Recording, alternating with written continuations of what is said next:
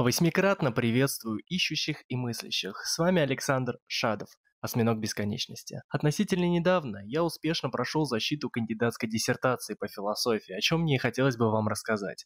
Защита довольно сильно ударила не только по моим финансам, но и заставила потратить уйму времени. Думаю, многих заинтересует, сколько денег и времени тратит современный аспирант на защиту. Рекомендую посмотреть это видео всем поступающим в аспирантуру и желающим защищать диссертацию, чтобы вы имели представление о том, что вам в итоге предстоит. Подготовка текста диссертации. Написание текста диссертации без учета времени на внимательное прочтение источников составляет от 1 до 3 месяцев. Довольно много времени займет написание и продвижение статей в научные журналы. На каждую статью вы потратите от одного дня до недели, в зависимости от вашей скорости письма и отработанности темы. На время моей защиты необходимо было предоставить три статьи в журналах ВАК, связанных с темой диссертации, но этим, конечно, лучше не ограничиваться. В итоге у меня издано 5 статей в ВАК и 10 статей в РИНС. Перемножим 15 на 1 и 15 на 7. Получаем, что на написание статей вы можете потратить от 15 до 105 дней. Много? На самом деле, под каждый журнал вам придется подгонять свою работу. Если вы получили отказ в одном журнале, который придется ждать в лучшем случае около месяца, вам придется выправлять форму статьи для следующего журнала, что нередко займет не менее часа. Более того, есть вероятность, что за статьи ВАК вам придется платить около 10 тысяч рублей за одну публикацию. Так как раритетные журналы не горят желанием печатать аспирантов, которые, в свою очередь, не всегда выдают идеальный по научным стилистическим канонам текст. Получается, что вы можете потратить на печать статей от 0 до 30 тысяч рублей. Многим исследователям не хватит книг, которые можно отыскать в интернете, а потому придется обращаться в библиотеки на что можно потратить еще несколько месяцев. Также не все книги можно отыскать в библиотеках, а потому некоторые придется выпрашивать у авторов или покупать в магазинах, или с рук. Условно предположим, что на это вы можете потратить от 0 до 20 тысяч рублей. Собственно, содержательная часть работы закончилась. Текст есть, статьи есть, время затрачено много, но значительная его часть не потрачена впустую. На этом этапе вы тратите много времени, но при определенном везении и связях можете не потратить ни рубля. Сбор документов до защиты. Сначала веду вас в курс дела. Подавляющее большинство документов составляет, печатает и сканирует сам аспирант. Схема такая. Вы тратите время на составление документа, печатаете его на свои деньги в двух экземплярах, ставите все необходимые подписи и печати, а после один экземпляр сканируйте. Предупрежу сразу, что папка дела с документами у меня в итоге получилась значительно больше, чем сама диссертация. Документы до первого совета. До первого совета нужно предоставить заявление в совет в письменной форме, личный листок по учету кадров с фотокарточкой, заверенные у нотариуса копии дипломов в двух экземплярах заверенные у нотариуса копии справок о сдаче кандидатских экзаменов в двух экземплярах, диссертацию в электронном виде, автореферат в электронном и бумажном виде, положительное заключение организации в двух экземплярах и отзыв научного руководителя тоже в двух экземплярах. Не забудьте о сведениях о соискателе, которые предоставляются в электронном виде. По времени подготовка большей части этих документов занимает пару дней. Если, конечно, организация не заставит вас самого писать заключение на свою работу, что также периодически случается. В любом случае, большую часть этих документов вы добывали в ходе аспирантуры. Самым трудным для вас окажется заключение организации, в которой велась подготовка диссертации. Во-первых, вас могут заставить самому написать заключение. А во-вторых, это определенная предзащита, на которую необходимо готовить текст. В-третьих, один день вы точно потратите на мероприятие, на котором будет утверждаться данный документ. В-четвертых, этот документ нужно еще и получить. А я в итоге получил заключение, где было зачеркнуто имя проректора по научной работе и ручкой вписано имя исполняющего обязанности. В итоге документ пришлось переделывать, так как он был признан недействительным. Документы до второго совета.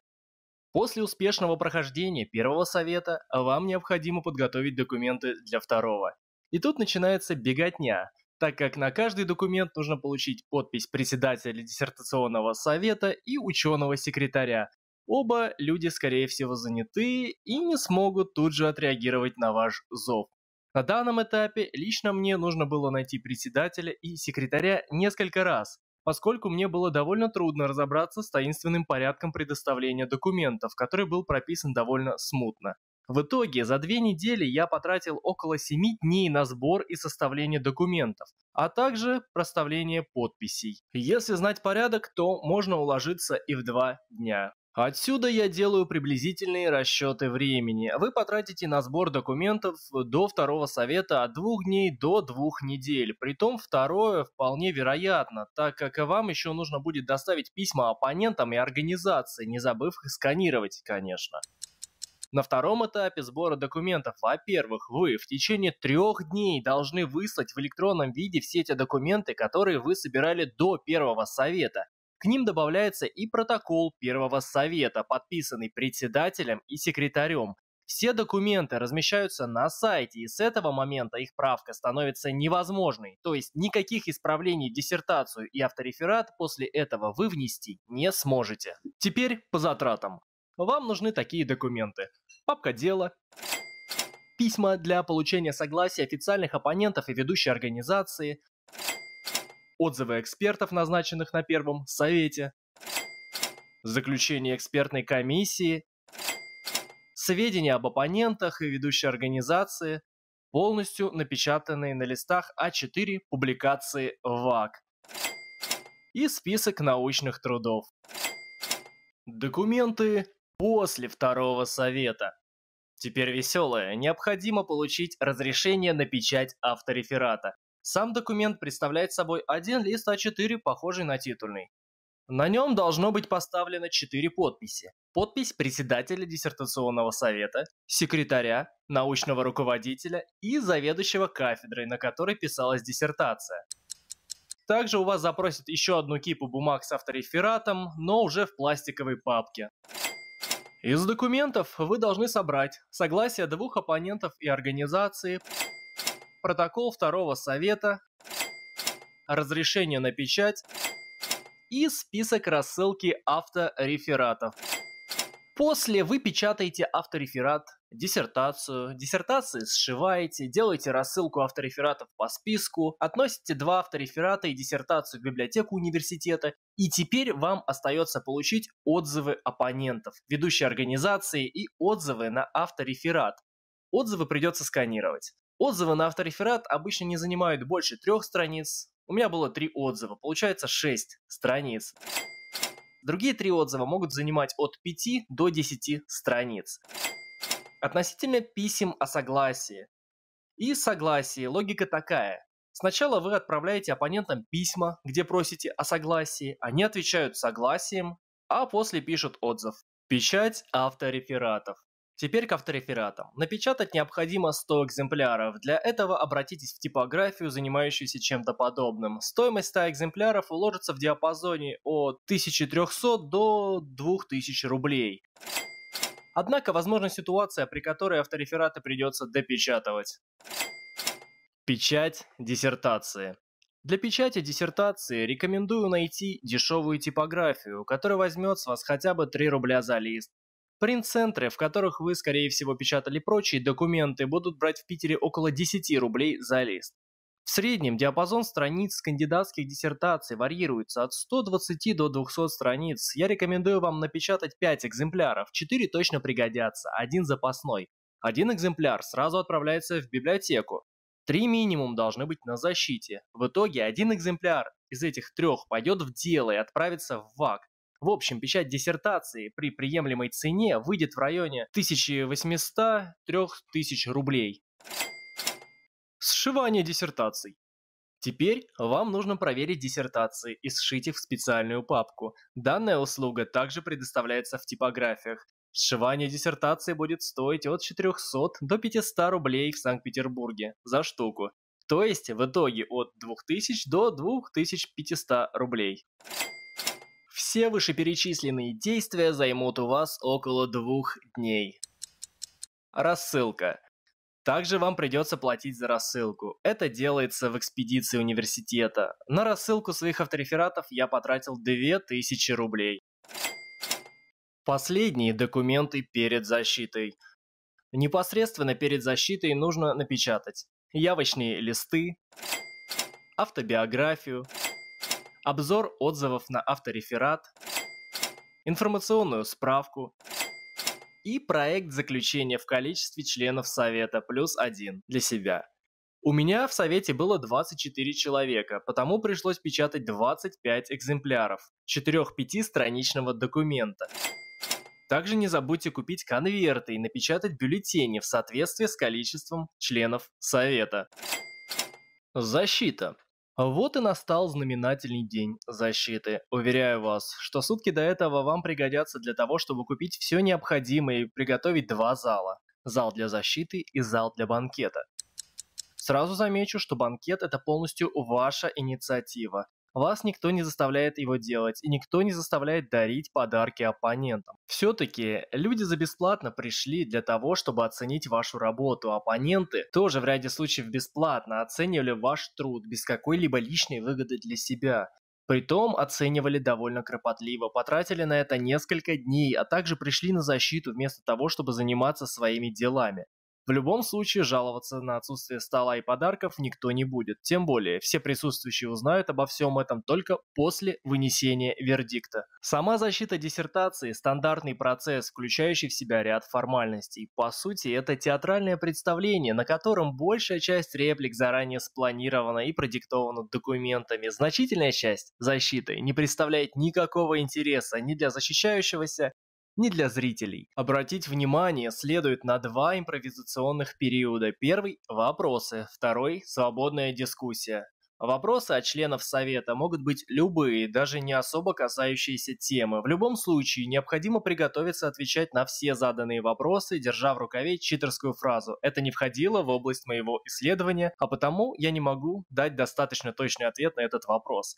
Отбиваться подобными фразами от всех членов Совета не следует, но следует понимать, что вы не можете быть специалистом во всем. Свободная дискуссия представляет собой высказывание членов Совета и присутствующих о состоявшейся защите. Высказывания проходят не в дискуссионной форме и соискателю степени могут даже не дать высказаться. В общем, если у вас нет страха публики и вы свободно владеете материалом, который изучали несколько лет, то сама защита не должна показаться вам сложной. Подготовка зала для защиты. Для подготовки зала необходимо количество авторефератов, равное количеству членов совета, плюс дополнительные авторефераты для публики. После рассылки у вас должно было остаться нужное количество. Также необходимо расставить на столе такое же количество бутылочек с водой объемом 0,5 литров. На столе председателя должен стоять букет цветов. Банкет и подарки. Раскрывать, что было на банкете, я не буду. Затраты на него вместе с подарками составили 20 тысяч рублей. С учетом того, что еду по большему счету я не покупал, она была приготовлена. Также я не стал расписывать другие возможные затраты. Например, для перевозки всего этого мне понадобилось такси. Для некоторых членов совета также могло понадобиться такси, но научный руководитель меня здесь выручил и привез одного профессора. Другие аспиранты, как мне известно, оплачивали такси для некоторых самых пожилых членов Совета. Сбор документов после защиты. В дальнейшем сборе документов я вам помочь не могу, так как сам оплатил соответствующие услуги в диссертационном отделе, чем очень доволен. Мне в итоге нужно было лишь доставить все документы в отдел, а после разобраться со стенограммой. Я посчитал, что приготовление оставшихся документов заняло бы у меня много времени, и я бы потратил немало денег на дорогу и печать. Документов нужно было еще очень много, но все они скорее формальные. Я решил, что лучше потратить деньги, чем на месяц погружаться в беготню за документами. Услуги по сбору документов обошлись мне в 7 тысяч рублей. Стенограмма стоила 5 тысяч, а ее распечатка в двух экземплярах 800. А в итоге защита обойдется вам минимум в 47 тысяч рублей, и потратите вы на нее около 59 дней. Надеюсь, у меня получилось помочь людям, которые собираются защищать диссертацию. Для меня цена защиты оказалась крайне высокой. Думаю, все изложенные материалы помогут вам рассчитать затраты и правильно спланировать свою финансовую и временную стратегии. Советы будущим кандидатам наук.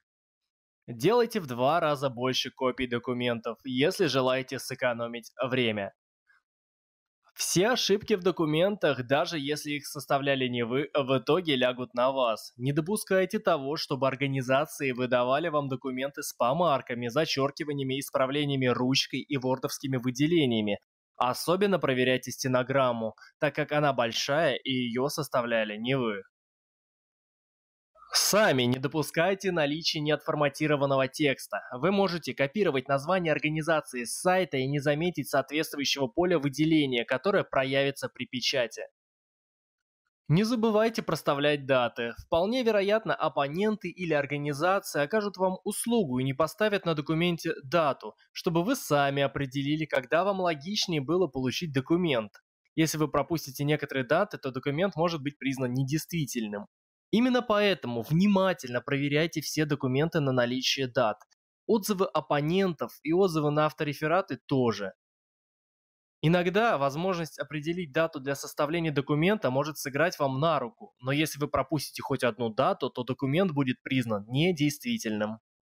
Спрашивайте обо всем у работников диссертационного отдела. Не всегда секретарь и особенно председатель совета обладают полной информацией.